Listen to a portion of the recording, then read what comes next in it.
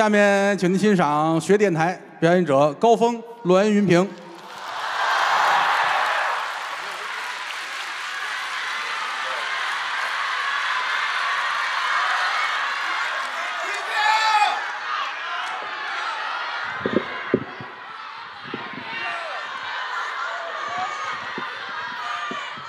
谢谢你们啊！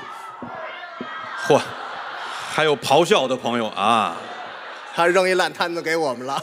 这个郭老师这手段挺好是，啊，因为我们这儿退票有百分之一百五十的手续费啊，朋友们可能不太清楚。今天是个好日子，对，郭德纲、于谦二位老师合作二十周年。嗯，这人这一辈子能有几个二十年呢？拿他来说吧，也就一到两个，是吧？呃，我就快到站了，是吧？不是，我说这个舞台的艺术上，对舞台生涯能有几个二十年，那是很难得的。嗯，刚才郭德纲、于谦二位老师表演这个节目是个传统段子，学西河，哎后边还给您增加一段现场互动，这是我们演员都始料未及的，嗯是吧？这这底多好，确实演的不错。嗯郭德纲先生能说能唱，他得有一个好嗓子。是这个节目啊，你要没有好嗓子，根本演不了。对，他俩在一起合作，您都知道了，已经整整二十个年头，证明什么呢？他们从这个两千年前就开始合作了，是吧？到现在呢，正好是什么呢？您先等会儿，干什么？从多多少年前，两千年前你耳朵有毛病是吧？这都什么妖精变的？这是妖精干嘛？你看看两，千年前，对呀、怎么叫两千年前？今年今年多少年？公元多少年？二零二零啊，合作多少年了？二十年，二十年前是多少年？两千年，对呀、嘿，这不两千年前就开始合作嘛，到现在这不二十年嘛？二十年，反正他们两个人呢，私交还非常好，对，关系也很密切。嗯，这里边呢，可能大家有知道的，有不熟悉的。他们德云社的演员嘛，一大部分是郭德纲先生的徒弟，是还有一部分呢是于谦老师的徒弟。有，他们这个徒弟呢，跟这师傅之间呢，互相有这么层关系。嗯，是这个郭德纲的徒弟，都是于谦儿的干儿子。还真这样，比如您知道孟鹤堂，对吧？于谦老师的干儿子，对是于谦儿的徒弟，都是郭德纲的干儿子。对，比如郭麒麟，是吧？这个呢，他是就证明什么呢？不不不，那那是亲儿子，呃，反正他以比如那个刚才那个冯兆阳，哎，对他是郭德纲老师的干儿子。对，就是说郭德纲、于谦他们俩人是互为干父子的关系，你知道吗？你给他们定的吧？我这刚介绍你站旁边，对对对对对，不对吗？不，不能是全对，他俩人不是互为干父子，就是我意思，你你明白就行了。是就是他们的徒弟跟他们之间就是拧着花的，就这么个关系，就这么乱，就证明呢关系比较近，嗯，关系密切。是啊，我们两个人其实关系也不算远。嗨，我是他爸爸对，不是，的干儿子，你别抢话。嗯，我这说一半呢，你不是观众误认为我是你爸爸，我也不是，不是，我也不是那样儿这样就就不礼貌了啊！你听人把话说完了。好，我是他爸爸的干儿子，这别扭劲儿啊，他是我儿子的干爹，哎，我媳妇儿是他妈哎的干女儿，他妈是我媳妇儿哎的干娘。干干娘啊，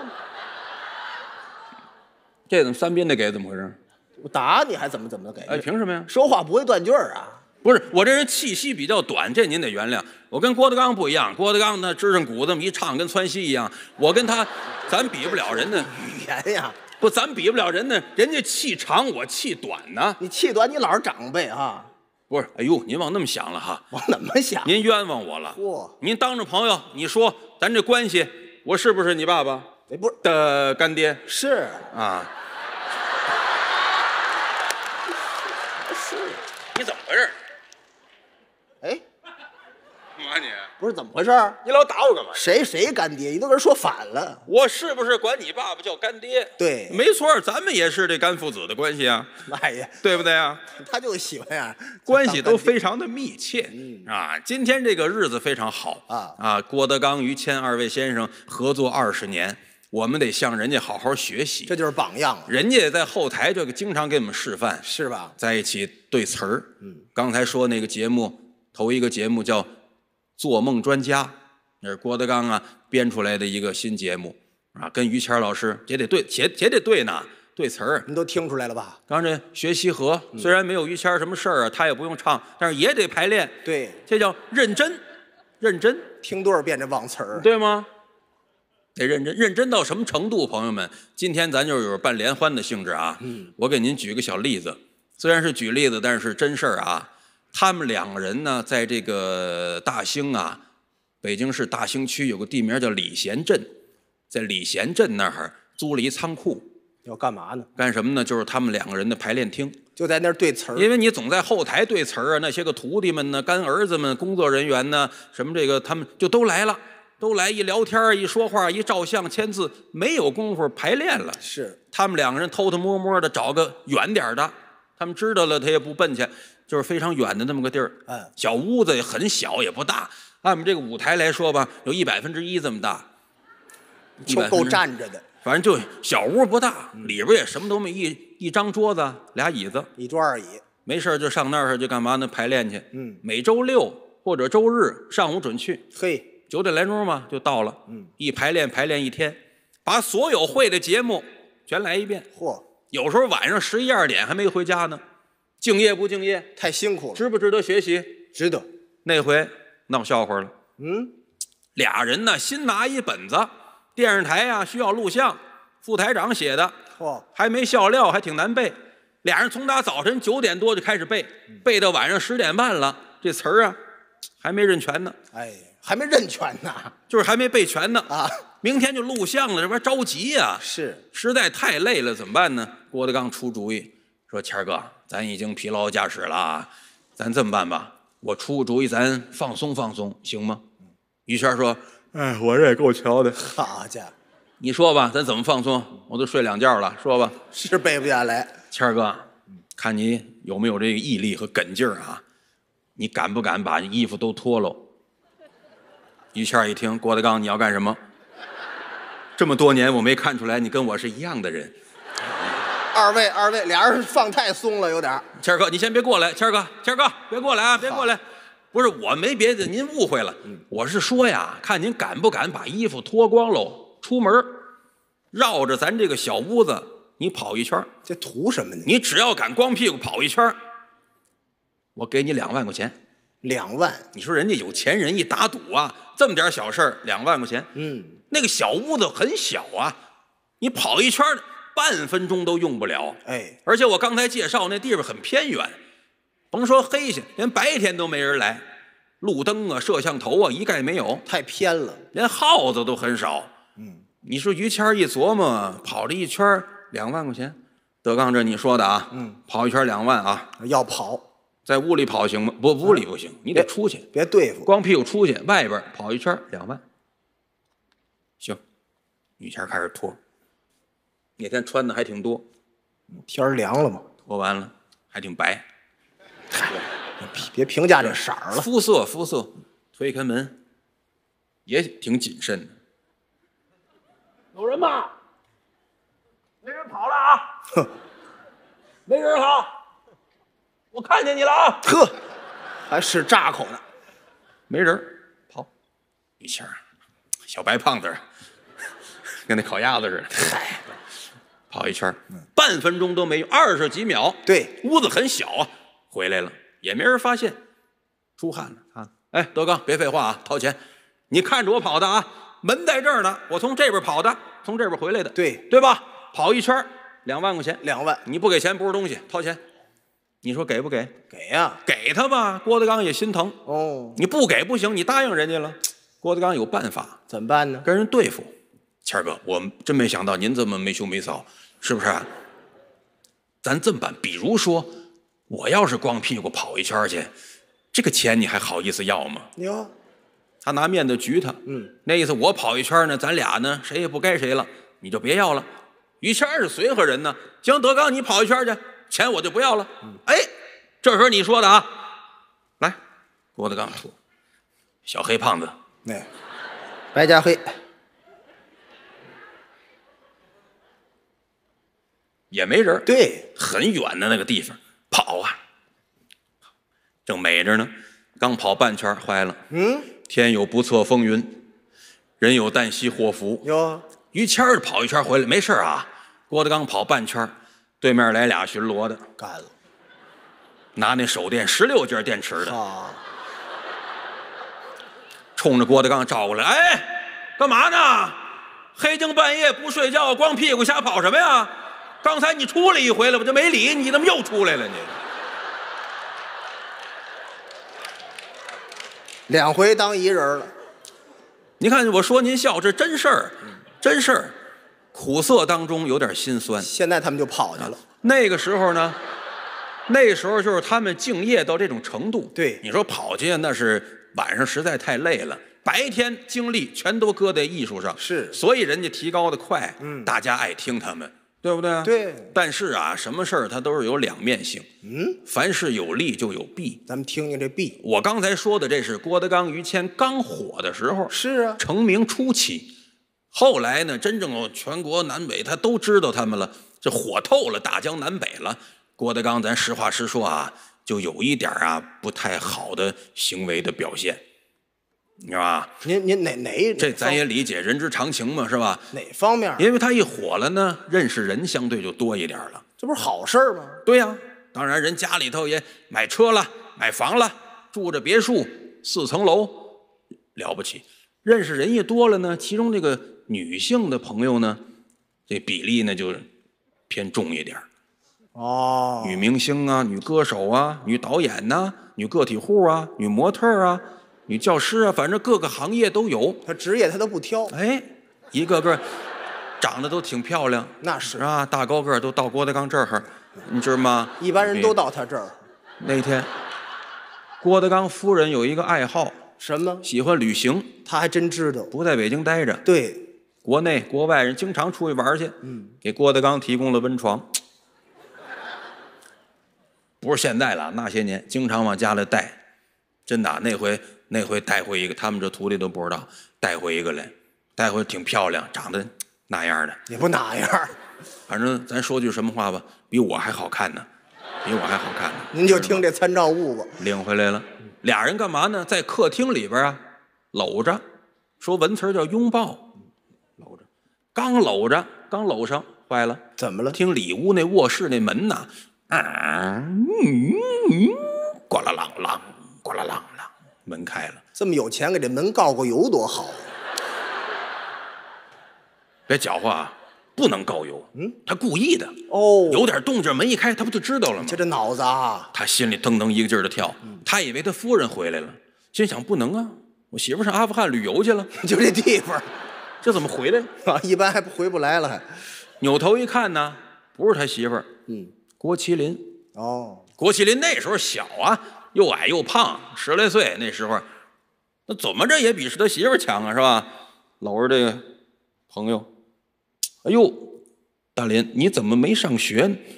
哦，我让你退的学，对对对，哎真是。自己给自己埋一坑。哎，那什么，你别误会啊，这是爸爸的朋友，你叫阿姨吧，阿姨，叫阿姨。你看这岁数，叫阿姨合适。爸爸跟阿姨逗着玩呢，逗着玩，懂吗？就瞎逗，开玩笑。你跟你姥爷不也逗着玩吗？是不是？那斗法不一样啊。别看这个，干嘛呀？给你五十块钱，五十啊出去玩游戏去。嗯，别跟你妈说啊，逗着玩，别说啊，走吧。郭麒麟，一般的孩子拿着五十块钱，哎，你们逗着玩吧，我走了。嘿，出去是玩游戏去，买好吃的，人走了。嗯，郭麒麟不去，拿着五十块钱，还盯着这俩。这倒霉孩子，告诉你逗着玩，别看这个，再给一百，再给一百啊！出去走吧，爸爸跟阿姨逗着玩呢。一百块钱接过来，一百五了。嗯，不为金钱所动。嘿，这孩子好，这孩子，你说你，哎呀，爸爸也没多少，再给一百啊，二百五，走。爸爸跟阿姨逗着玩呢。郭麒麟拿着二百五十块钱还是没走，不走。不光没走，说句话，郭德纲吓一跳。说什么了？爸爸，我不走。上次妈妈领个叔叔逗着玩，还给八百呢。哎，咱这说话咱别没谱啊。不不不，朋友们，我说话负责任，我说话这都真事儿，真的啊。因为什么呢？上回那八百块钱是我先垫上的，知道吗？行行行，哎哎哎，乱就乱你身上了，知道吗？当时就特别紧张，我能想出这个，哎，给八百块钱让他先走，就打发走，不容易，行，你你你也快走了你。是吧？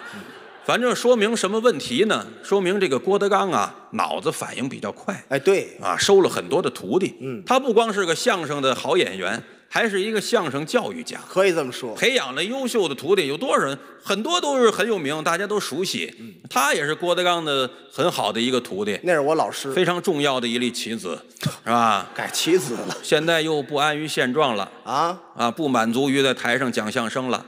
您各位也都知道，前些日子不又从政了吗？嗨呀，是吧？就是说句好懂的话吧，就在德云社当官儿了。大你你别装孙子啊，呃，因为谁装孙子了？你你装孙谁装孙子？咱是一共就咱俩人，谁装孙子啊？我怎么装孙子了？我这一说你当官儿了，你那边儿嗨，你这不装孙子吗？这不你你你这是真孙子，你这谁谁这样这这模样能当官我？我我看得见你什么模样吗？反正真是，反正你就是那意思，嗨，这我这不是客气客气吗？用着吗？别瞎客气，他这人总是这样，揪着胡子过马路，什么意思？谦虚，他总是。哦，这是俏皮话。你要认清你自己的状况，您可以说是屁股后头挂暖壶，嗯，有一定的暖壶。我挂一屁股暖壶干嘛使啊？不，你这不懂，这是个俏皮话。我屁股后头挂暖壶，有一定的暖壶就不错。什么乱七八？屁股后边挂暖壶，对啊，有一定的暖壶啊。有一定的水平。哦，水平，嗨，我觉着不老得劲儿的呢。您这俏皮话都使超分了都，屁股后头挂水瓶，有一定的暖壶。我还是一屁股暖壶啊！我怎么挂怎么挂我改钟馗了，我这挂挂哪儿？屁股后边挂什么来着？我我们不知道啊，你得挂暖壶啊有一定的水平。哦，这俩他容易绕住。对他为什么说对？他得加动作。是屁股后头挂暖壶，你呀、你呀、不不，别别加我这儿，有一定的水平。对对对哎，水平不错。但是我水平不够，他可以说是这个膝盖上挂暖壶，这怎么讲？水平比脚高。哦脚高，比这脚丫子还高。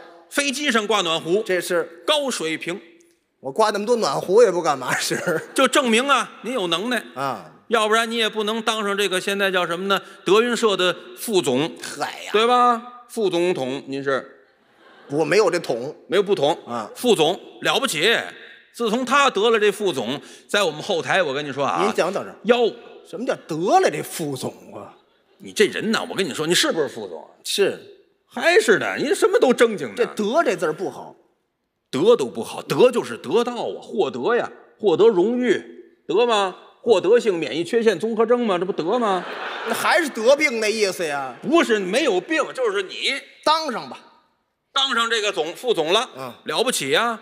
后台这些人有点说，哎呀，副总来了，有点什么不明白的，哎呀，咱问问副总去，都得问他。这什么范儿？这都眼睁人也有学问，嗨呀，是不是啊？救活吧？别不别救还行啊，相声演员嘛，相声本身就是一个博学的艺术，什么都得沾点儿。对吧？相声本身就是一个融会贯通，嗯，触类旁通的艺术。对，跟我们相关的什么西河大鼓啊，什么这个京剧啊、戏曲啊，都得掌握。是不是夸奖他？他这方面做的就很好。哎呦在融会贯通这方面做的非常棒。嗯不客气讲话，他就是个触类旁通的好演员。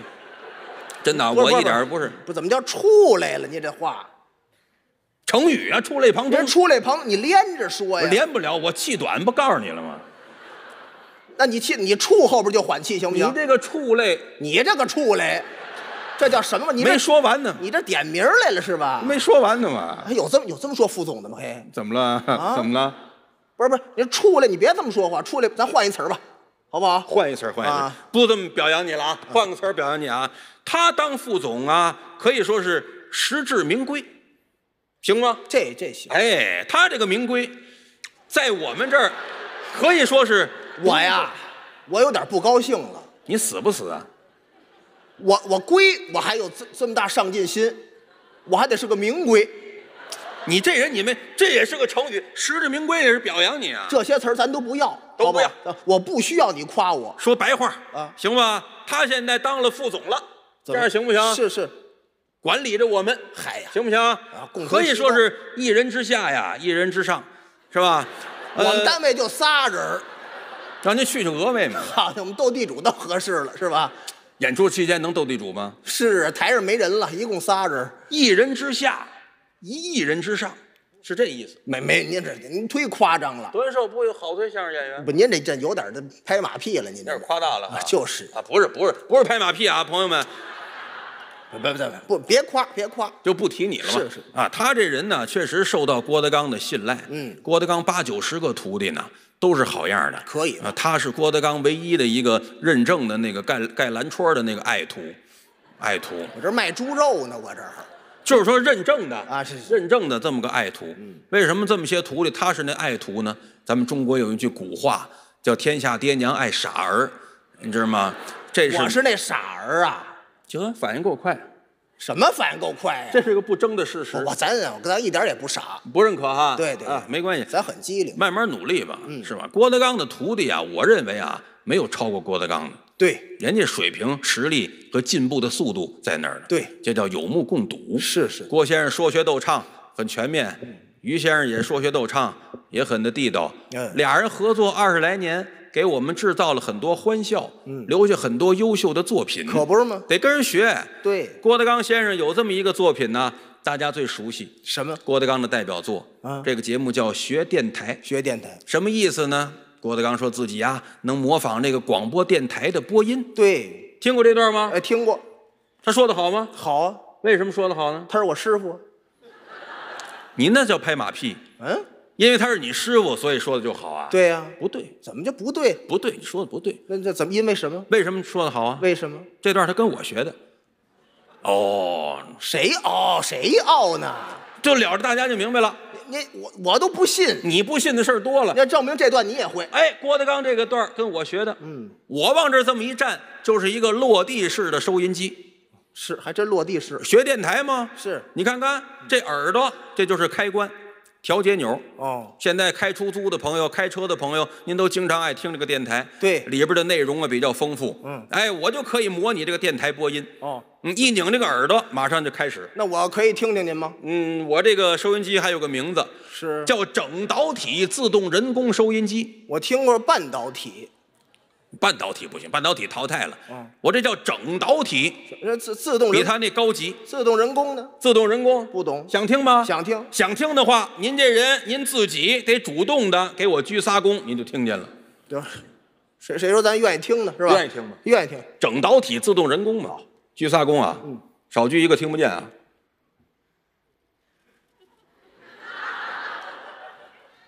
干嘛？脑子有毛病是吧？不是，这这鞠一下得了。鞠不行，鞠躬嘛，鞠仨躬。人我给你数着的啊，来。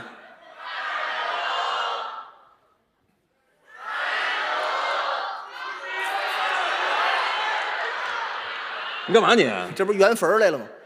什么意思？什么意思？不是，就多多鞠一个，多鞠一个是几个呀？四个，咱们这国家有规定，人三鬼四，你给死人鞠躬才鞠四个呢。这是国家规定啊，这是。当然了，他上午给他爸爸上完坟，他到我这儿，你又想起我来了，给你爸爸上的坟。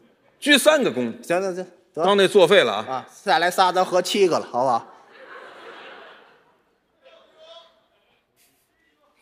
七鞠躬，行，这就可以开始播音了啊！是是是，这个鞠躬跟这播音其实什么没什么关系？有关系，不鞠躬不给你播。哦，嗯，那我就不客气了啊。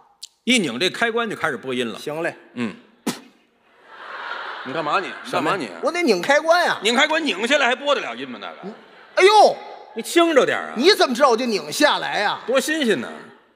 我就，嗯，您放心吧。哎，我想问问您，是往是往这边拧还是往这边拧啊？就这样，这样。哎哎，做戏多真实，我都没碰上他。哎哎，干嘛你？你刚才不就这样吗？哎，做戏真真实哎，我给这朋友们都看见，人家优酷都录着，都录像了都，哎呦人都看见了都。给给你给给，好好的，好好好好拧啊！我这边容易掉啊，你别留留神啊。啊你来回拧，来回拧还行啊，那不都坏了吗？影响寿命吗？是吧？哎呀，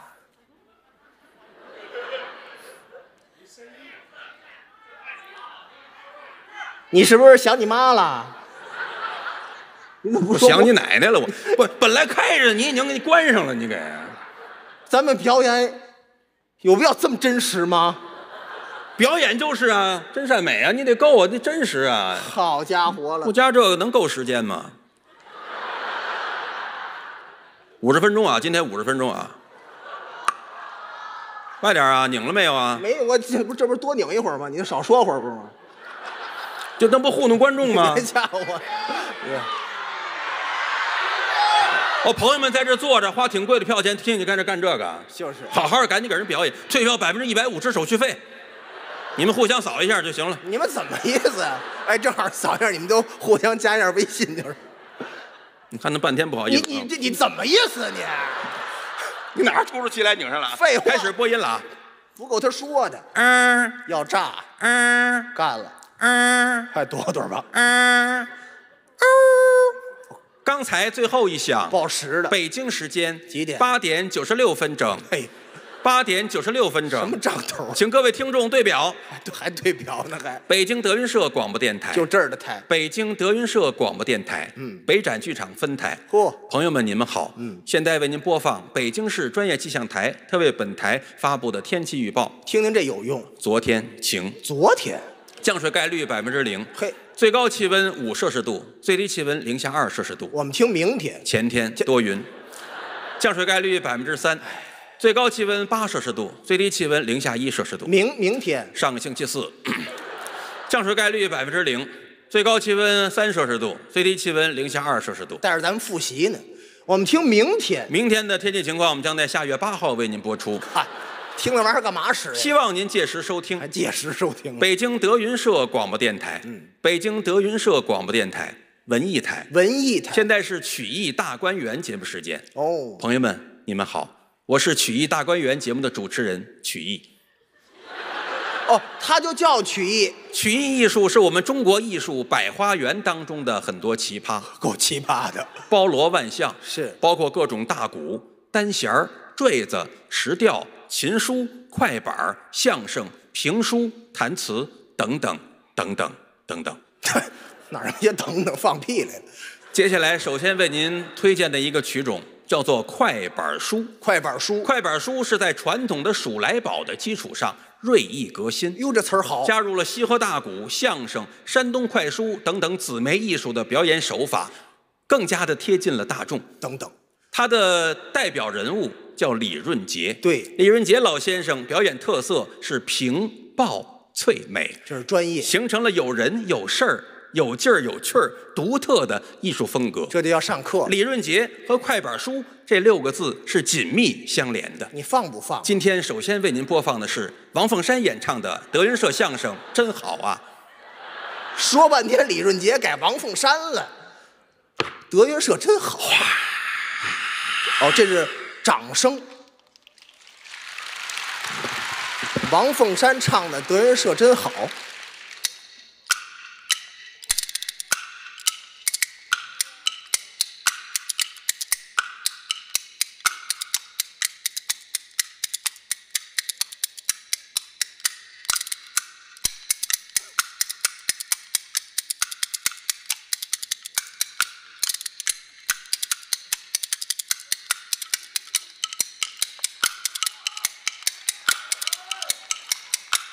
电台真清楚，你仿佛就在边上打似的。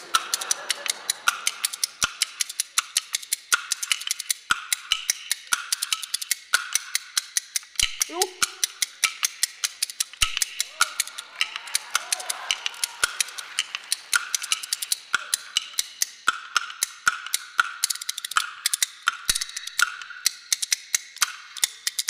德云的相是真正好，一头大了一头小。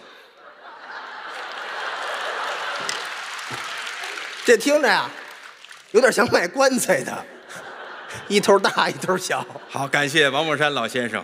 呃，接下来为您播放的是西河大鼓，刚才那听，由这个郭德纲先生为您演唱一段西河大鼓《杨家将》当中的片段《还没听完。蜗牛与黄鹂鸟》啊。西河大鼓的也是个传统的艺术，它的特点是短小精悍，而又篇幅很长。他到底怎么着啊？其中有长篇的，也有单段的，多难逮他呀！还容易忘词儿，找不着就瞎唱。是啊，接下来为您播放郭德纲演唱的《蜗牛与黄鹂鸟》。好，这估计是个女主持人。当当啷滴当，啷个啷滴当，当啷个啷滴当，当啷个啷啷啷这是周九良噔啷噔当当噔啷，伴奏是张鹤帆的岳父。噔啷噔啷滴当，噔啷当啷滴当，噔啷个啷个啷滴当，噔啷当啷滴当。我这问你冷不冷？噔啷啷个啷个啷滴当，穿挺厚的当啷个啷滴当，啷个啷个啷滴当，噔啷个啷滴当。杵瞎了光听电台了当啷啷滴当，噔啷啷噔啷滴当。阿门阿前一棵葡萄树，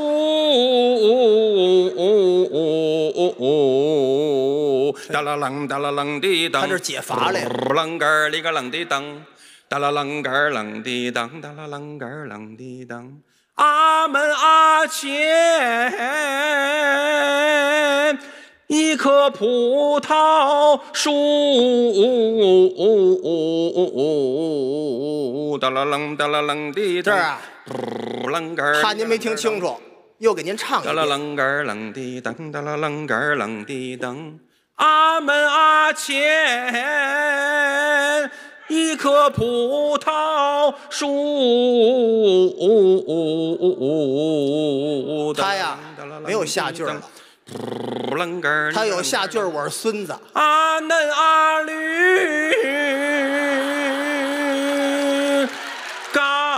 发芽，他就等我了。小蜗牛背着重重的壳，到身上一步一步就往上爬，在树上落着四只黄鹂鸟啊，说葡萄还没熟，你上来干什么？小蜗牛说，等我爬上去，它就成熟啦啊啊啊！冬去哗啦。这哗啦，嗯，锅还掉地下了，知道吗？感谢郭德纲岳父的演唱啊！郭德纲的岳父唱的呀，什么乱七八糟的这是？接下来为您播放山东快书，山东快书，由老艺术家高元军先生为您表演《武松传》。好《武松传》，叮那个叮，叮那个叮，叮那个叮那个叮那个叮那个叮那个叮那个叮那个叮，闲言碎语不要讲，表一表好汉武二郎那武松，学拳他到过少林寺，功夫练。唱什么忘什么，你这玩意儿要命了。功夫练的八年上啊，还不如我呢，你这玩意儿。功夫练的八年上，这一天二武松他回家转，牵着大个武大郎哥，嗯哥，嗯，有父母从父母，没有父母从兄长。哦，这开关一扣了。那武松牵着他哥武大郎下台鞠躬。什么乱七八糟的这是？感谢高元军先生卖力气的演唱。高元军应该感谢我。接下来为您播放大家万众期待、期待已久的于谦儿捧一切栏目。嚯，这太好了，这我都没听过，这玩意儿我估计我也量不上了。今天为您播放于谦儿捧一切的主题是母猪的产后护理，哎，请您欣赏于谦儿的捧哏。哎，真是个暖男呀！哦，什么意思？你要干嘛呀？就是，哦，饿了，去你的吧！哗，好好，真好。哎呀，真好，完全是完全是即兴发挥。哎对对感感谢优酷，感谢优酷。接下来再为您播放大家真正期待已久的一段传统的相声。这是什么？由天津的两位老艺术家李伯祥、杜国之二位为您带来的经典曲目《报菜名》。报菜名请大家欣赏。这这是正文。哎呀，老杜啊，今天呢，我老李李伯祥来到咱们北京市北展剧场动物园附近这个地方，我打心眼里边非常的高兴。大家对我李伯祥先生比较熟悉，我嘴快，我说话特别的卖力气，我说出话来那个小嘴儿就跟啪嗒啪嗒，就跟机关枪枪毙你一样，你知道不知道？哎 啊知道说话非常卖力气。今天来到这儿，今天我听说是我这个徒侄郭德纲先生跟我另外一个徒侄于谦老师，他们两个人合作二十周年这么一个专场的演出。把我特意邀请来了，台上台下一共两千七百多位，我心里边这个高兴啊！我首先祝愿大家是，因为今天这个节气叫小雪，小雪到了，后边就是冬至，啊，我这是个录播啊，录播啊，哎呀，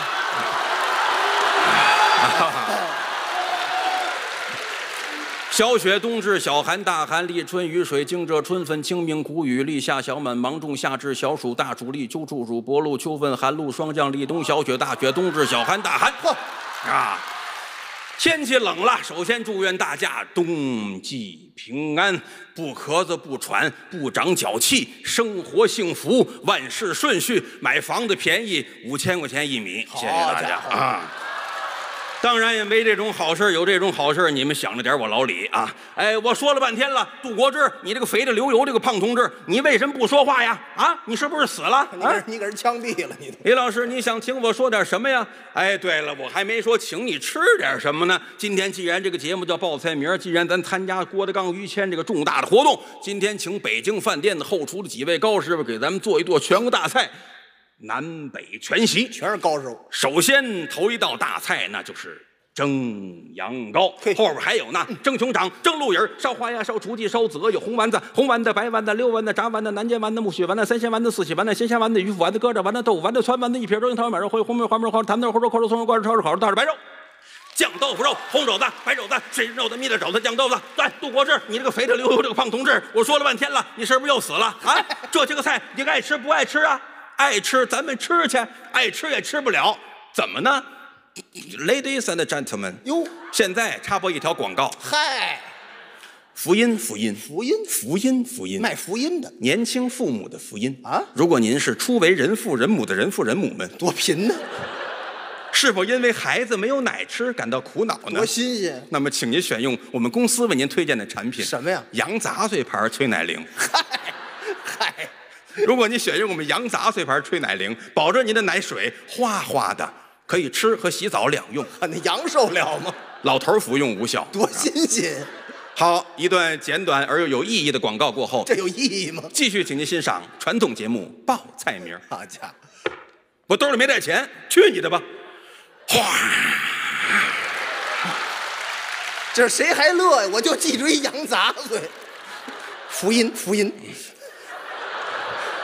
好，接下来呢，我们把这个镜头呢，呃，我们看看南方有没有什么好的曲种。什么啊乱七八糟？我换一台。这个南方有弹词啊，噔啷滴噔嘚儿噔摩拜。北京德云社广播电台幸亏我换台了，点播台，弹词还不会。听众朋友们，大家好，现在是你点我播，我播你点，点点播播，播播点点节目。哎呦朋友们，你们好吗？我是你点我播，我播你点，点点播播，播播点点节目主持人点播。点播啊，如果您有什么点播需求的话，请您发送手机短信 SB 加节目内容，发送到三八三八三八三八三八，你高矮音儿也是三八呀？我们将安排为您播出。三八，呃，或者给我们来信，嗯来信的地址是我收。好家伙，名字太大了。呃，看一下我们的短信平台吧。啊短信平台有几位朋友的短信非常有意思。现在还有人用短信吗？首先，这位朋友是一位姓陶的朋友发来的，姓陶的，叫陶音。陶陶音。呃，他是这么说的：说主持人你好，我叫陶音，我是那个京剧演员陶阳的弟弟。哦，嗯，他们阴阳双分着。今天呢是这个郭德纲、于谦二位老师合作二十周年，都我非常的高兴。是在这里，我想给他们哥俩点播一首林志炫的歌曲。嗯散了吧。哎，这不光陶音，陶阳都够瞧的了。呃，再接下来呢，我们再看另外一个短信啊。散没散？说主持人你好，我叫娜娜，娜娜今年十岁了。嗯，上次期末考试成绩不是十分理想，哟都没及格。那就是那全不理想，那是妈妈非常的恼火啊并且还打了我爸爸。什么？然后我爸爸出于报复心打了我一顿。好，这成联赛了。他这是间接的打我，就是但是我知道妈妈是很喜欢我的一，家的沙袋。他是望子成龙的表现。在这里，我希望我给妈妈点播一首歌曲吧你，希望什么呀？点播给妈妈一首歌曲。这歌是女人何苦为难女人？其实他爸爸是无辜的。接下来再看一个大学生发来的短信。嗯短信是这么说的：主持人阿姨你好，阿姨，阿姨，我今年二十二岁了，22学校上大四，嗯但是我的功课不太理想，全部理想。因为我没时间学习。你都干嘛去？我要课余时间到医院照顾我生病住院的爷爷们。他说爷爷们啊，这位是护工，看着我的爷爷日益消瘦的面庞，我心急如焚。着急了。在这里给我爷爷点播一首歌曲。这歌是，大哥你好吗？你就是拱火。再看我们最后一条短信吧。最后一个呃，是一个八十多岁的老人发来的。嗯他说我今年八十五了，八十五了，因为岁数大眼神不好，所以发来字儿比较大，请您原谅啊。这句就可以不念了。他说我今年八十五了，在医院住院很多年，多亏我上大四的孙子照顾我。好，看他日益消瘦的面庞，我特别着急。在这里给我的孙子点播一首歌曲。这是什么呢？我不做大哥好多年，二位，二位回去聊去，好不好？我不做大哥好多年。呵，今儿还唱两句了，嗯呃，再看看我们啊另外一个短信啊，还有另外一个，今天是郭德纲、于谦二位老师合作二十周年的日子，我听多少遍了？我们就是郭德纲和于谦，哦，在这里点播一段郭德纲、于谦合说的相声。这是因为我们这个台里没有这个资料，就不播了啊。多尴尬呀！呃，看看这个来信吧。嗯，怎么又来信了？这封点播来信是这么说的：你点我播，我播你点，点点播播，播播点点。节目主持人点播你好，我是你点我播，我播你点，点点播播，播播点点栏目的忠实听众，也是你点我播，我播你点，点点播播，播播点点节目主持人点播的热情粉丝我。们知道，每天工作之余，我都要收听你点我播，我播你点，点点播播，播播点点节目。而你点我播，我播你点，点点播播，播播点点（括号以下简称点播你早干嘛去了？），成为了我生命当中不可缺少的一部分你。就指这个接下来，我希望点播一段刘谦的魔术。嗯，魔术对不起，大爷，我们这电台播不了魔术啊。啊，这是练字儿来了。呃，请大家情绪要保持稳定啊。接下来为您播放近期点播率非常高的两首歌曲。什么歌？首先呢，是我国著名的男中音歌唱家杨洪基老先生演唱的《青藏高原》。啊，第二首歌曲是青年歌手阿宝演唱的《三国演义》主题曲《滚滚长江东逝水》。哦，反串儿。呃，不是反串儿，这电台怎么还搭茬儿啊？可能有那弱智朋友认为哦反串儿，告诉您不是反串儿，不是不是啊。你才弱智呢！首先为您播放杨洪基老先生演唱的《青藏高原》。是谁带来远古的呼唤？本来心情挺好的，亚拉索，那就是青藏高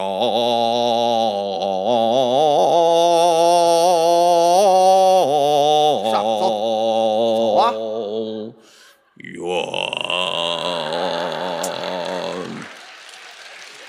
这位估计家里生活不幸福。接下来为您播放阿宝演唱的《滚滚长江东逝水》。咱们痛快痛快的。滚滚长江东逝水，浪花淘尽英雄。这是诸葛亮放羊时候唱的，是非成败从头再来。别从头来了，我听一遍啊。看成败，人生豪迈。吃了脏东西了，只不过是从要头现原形。再来呀，Time and time again, you ask me。我感觉他痔疮犯了问我他你哎在你要乐意唱，我可不换台了。We are family。有点像骂街。哎，七七八八摇二摇。好，怎么回事？听众朋友们，听众朋友们，如果您刚刚打个电梯，电梯？我们现在为您报告一下，现在是在北京工人体育场为您现场直播一场国际足球友谊比赛。哦，球赛。比赛的双方是中国足球队对阵泰国足球队。哦好场上的比分是六比零，中国队还可以呃，泰国队领先。啊？现在是中国队的守门员来发球门球，把皮球放在了小禁区线上，倒退几步撞门框上了哎。呦，呃，裁判员召唤队医入场，哎，这是队医，拿那个扶他林照在脑袋上，呲，哎 这是杀蟑螂来了。呲我憋死了我。哎呃，问题不大，守门员重新发这个球门球，一个大脚把球开到中场，中国队的中场球员拿球，好球传给右边前卫，右边前卫拿球稳定以后传给左边前卫，充分利用场地宽度，这叫战术，左边前卫拿球都没有犹豫，回传给右边前卫，嗯，他看看两边是不是一边宽，还玩呢这儿。右边前卫拿球往前直塞，传给前锋，前锋拿球非常冷静，晃过门将，面对空门走，觉得这个机会不是太好，把球回传给队友。嗯还要多好机会啊！队友拿球之后并没有灰心，骂两句衔接，重新组织进攻。好，重来。一个大脚把球传给前锋，前锋拿球比较冷静，晃过门将，把脚怒射，好球！进了，哎呀，太遗憾了。怎么了？这个泰国队八十六岁老门将拿拐棍把球捅出去了，嗨，人家还有拐棍儿。还是没进。哎，随着裁判员的三声怒吼，全场比赛结束了，是够没劲的，比分牌定格在六比零。才输六个。希望下一次他们能有所进步，我们永远支持你们。呵好，接下来我们把镜头转向蛙跳比赛的现场。蛙跳叫什么比赛？只见这个呃小小镇，呃往前一蹦呢，呃来一狗吃屎，呃接着我快救救他吧！哎，本台好，现在来吧。休息，呃，休息。哭坏了那位莺莺啊，这不叹坏了小红娘，动起不动，哗啦。啊，又砸一口。且听下回分解。怎么这也完了？给老英雄贺功！嘚儿啦个儿隆个儿隆个儿里个儿隆嘚儿啦个儿隆个儿，你妈嫁人啦！你妈家人了？让五毛去五毛哦，你白拿去了，哈哈哈！整个一傻蛋。福建嚯、人民广播电台听听 听听这台吧。现在休息。休息，你说那慢干嘛呀？北京德云社广播电台，啊，哎，德云社广播电台你要干什么呀？综合台。综合台。现在为您播放的是京剧录音节目时间。啊，都耽误他身上。今天为您播放的是一段传统京剧什么？《二进宫》，嗨，表演者郭郭德纲、哦，于谦、李雪琴。嗨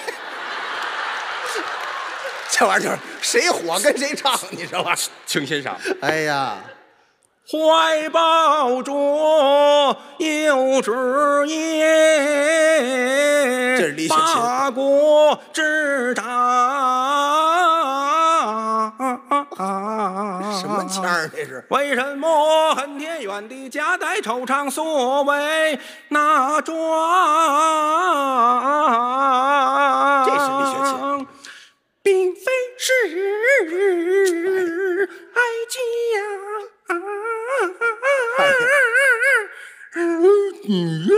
惆怅，这是什么乱七八糟对不起，李雪琴吃咸了，这是啊。不是，咱还有没有别的了？这段就不算了啊，不单要钱了啊。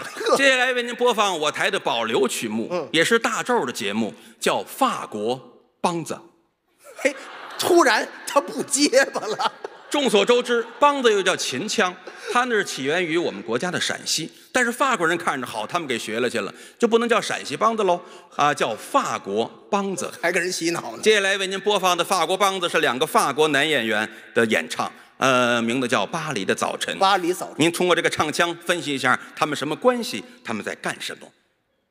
法国梆子。嘎布里克，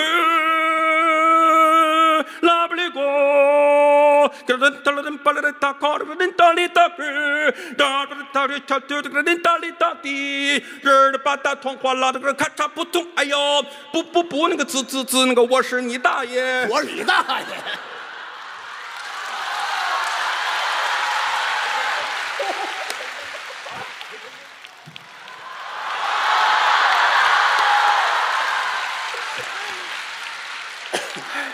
快点吧，嘿！我们是九点三十六上的，是现在是十点二十六，五十分钟已经完成了，他还没穿裤子。没事，一会儿让郭老师多跟您说，您放心吧。这啊个，谢谢朋友们啊！刚才演的是一段原汁原味儿的传统相声。都是台上现编的啊，你看这个相声演员嘛，需要这种能力。对什么能力呢？得跟大家呢，就是贴近距离，嗯，搞好关系，拖延比赛时间嘛对。不对？黄牌警告。嗯。朋友们都喜欢听相声，对但是各位朋友呢，不都是北京人，嗯，有天津的，是有河北的，有河南的，全国各地哪儿的朋友都有。嗯，所以我们相声演员呢，就得有这个任务了。全国各地的方言土语都得有研究。都得知道点儿。你比如说一撇一捺这字念什么？人啊，这是普通话。您到上海人字儿不念人。啊？上海话人念宁。宁。哎，阿拉上海宁，哦，阿拉上海宁，人念宁，上海宁，要是北京人，北京宁，呃，天津人，天津宁，嗯、宁波人，宁不宁？宁不拧了？拧不拧就是看您想喝不想喝了，是吧？啊，您开盖就喝，想喝您就拧开，不想喝您就拧上。是啊，这个宁波说话也有意思。是吗？宁波人说话呀，离不开音符和简谱，啊，就是哆来咪发嗦拉西，嗯，有音乐性，有节奏感。您举举例子。您比如说吧，呃，有这么一家裁缝店，做衣服的，一个掌柜的呢带一学徒的，嗯。这个学徒的名字就带俩音符，他叫什么呢？这孩子名字叫来发，来发，哎，来发，来，他叫二四。你叫三六，啊，叫来发呀，来发，哎，你看这个老师傅跟他这么一番对话，您仔细听，里边都是音乐简谱。是这样吗？，对对对，您您来了，老师傅在这做活呢啊。啊，咱这缝纫机这砸活呢啊，嗯。叫那孩子来发，来发。苏西，哦，让他少息少息干嘛？啊？少息干嘛？那什么熟悉问他什么事儿？什么事儿？哎，宁波话吗？哎，来发，熟悉，问他什么事儿？哎，都来。这是拿来吧？你怎么知道？我到宁波去过呀。哦，那就好了，是吧我这说着，你给大家解释解释。好好好吧，来打头来啊！啊来发，叫那孩子呢，熟悉，就什么事儿？都来，拿来，搜都来，什么拿来？西都来，线拿来，搜西都来，什么线拿来？米手西都来，棉纱线拿来，手米手西都来，什么棉纱线拿来？来米手西都来，蓝棉纱线拿来。发豆发豆，哦，不拿不拿，发豆西豆米，不拿去投米。发豆米发豆米，哦，不投米 不投米。来发来豆来豆，来发，你懒惰懒，我改翻译了是吧？行了啊，是不是翻译的不错？嗯，这是我说的慢哦我要把它说快点，连起来，再加点动作，跟奏乐一样。哎，您可以奏乐了。我给您来了啊！啊啊你注意听着啊！奏乐你叫那孩子来发嗦西哆来嗦哆来西哆来嗦西哆来咪嗦西哆来嗦咪嗦西哆来来咪嗦西哆来发哆发哆发哆西哆咪发哆咪发哆咪来发来哆那个来发来哆，这奏乐了。谢谢大家，谢谢，咱就到这儿了啊。这世界很酷。